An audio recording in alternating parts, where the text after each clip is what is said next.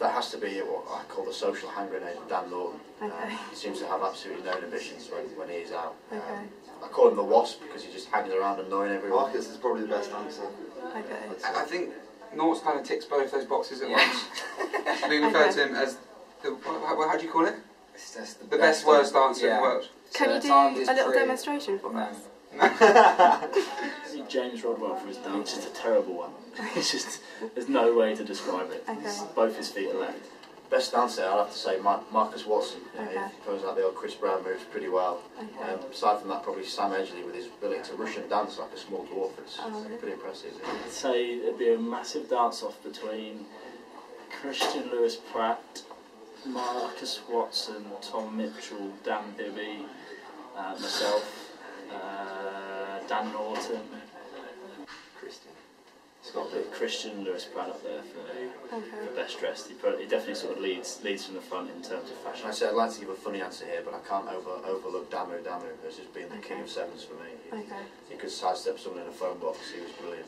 I would say Marcus Watson, in terms of a physical talent, he's probably got the best feet out out of anyone I've Mm, played I with. think Matt Turner. Okay. Um, whenever he wants to, he's uh, pretty world class and pretty unstoppable at times. Edge, Edge, Sam Edge, Edge yeah. does like Okay. a long, uh, a long change. He he enjoys the um, the nakedness of everybody else as well, so he's open to that. There's a few. There's a few very very vain boys. I do think probably Christian Lewis Pratt would take a time, partly because he doesn't have to just put his trousers on. He then has to roll them up four times as well. Easy. Tom Mitchell, housewife favourite. Yeah, take him to your mother. She'll love him. Take him to your wife. She'd probably you know just dump you for Tom. Mitchell. He's, he's a nice. He's a well-educated, well-brought-up chap, and uh, I think he'd, uh, he'd, he'd impress im- impress Mr. and Mrs. Cracknell no end. Because the fact I spend a lot of time with him and, and he's a Yorkshireman and a bit pally, so I wouldn't have to get too far to see him either. Because that's uh, you know it's a long way to drive for some of these guys down in London, and petrol's expensive, isn't it? I'd say majority of the squad.